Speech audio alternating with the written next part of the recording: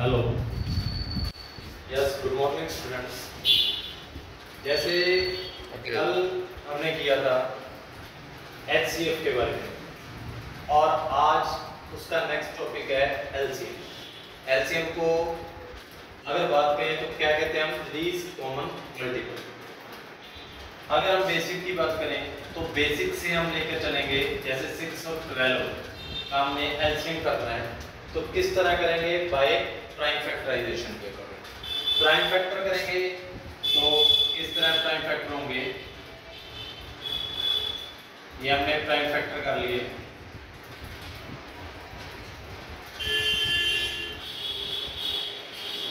तो ये एलसीएम इसका प्राइम फैक्टर के अकॉर्डिंग आ गया।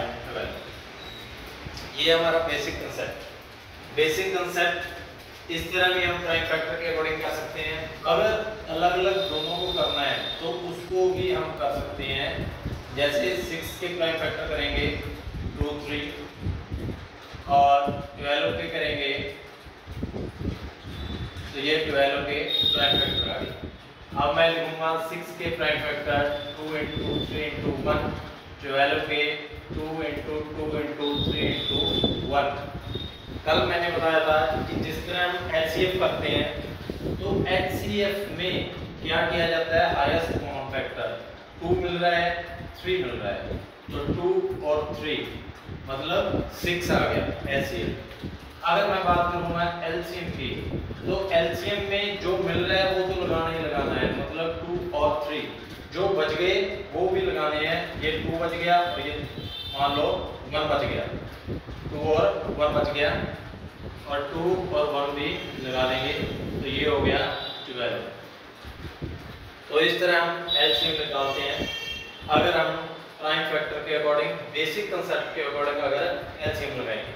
पर हम जब कंपटीशन एग्ज़ाम की तैयारी करते हैं या कंपटीशन में इस तरह के सम्स आ जाते हैं तो उसमें इतना लेंथी करने की ज़रूरत नहीं है, हम शॉर्ट ट्रिक्स लगाएँगे। शॉर्ट ट्रिक्स को ध्यान से समझना ध्यान से देखना, हम सिर्फ़ दो सेकंड में शॉर्ट ट्रिक्स के अकॉर्डिंग इनको क्लियर कर देंगे। जैसे फ़र्स्ट सम है seven fourteen twenty eight fifty six इसमें एलसीएम क्या होगा?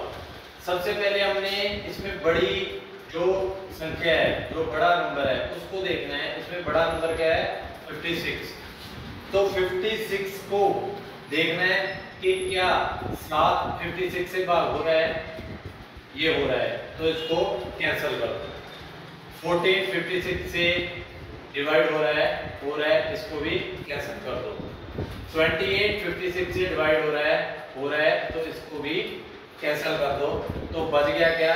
ये अपना एलसीएम आ जाएगा 56 हमारे को कोई प्राइम फैक्टर नहीं करने, कोई बेसिक कंसेप्ट नहीं लगाना हम बिल्कुल सीधा विद इन टू सेकेंड में एलसीएम निकाल सकते हैं। जैसे मान लो अब ये है इसमें बड़ी संख्या क्या है अपनी? 48 तो 48 को अगर देखें कि 6 डिविजिबल है 48 से है 12 है है डिविजिबल काट दो। 24 48 पर डिविजिबल है है इसको भी काट दो तो इसका एलसीएम क्या रह जाएगा अपने पास? 48 नेक्स्ट अगर बात करें 5 15 20 30 अब देखो इसमें से बड़ी टर्म अपने पास क्या है? 30 पाँच 30 से डिवाइड है आंसर हो गया। अब 15 को इससे करो 30 से डिवाइड होता है होता है।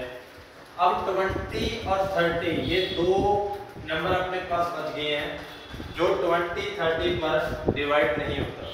तो इसमें अब क्या करना क्या है? इसमें हम देखेंगे कि ऐसा नंबर चूज़ करेंगे जो 20 से भी डिवाइड हो 30 से भी डिवाइड हो। तो करना क्या है कि जो बड़ी संख्या होगी, उसका मल्टीपल बनाना शुरू कर दो।